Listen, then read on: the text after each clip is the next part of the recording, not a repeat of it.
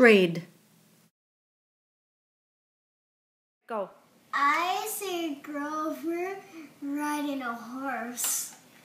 I see Curious George in the yellow, the man in the yellow hat, with George holding the hat.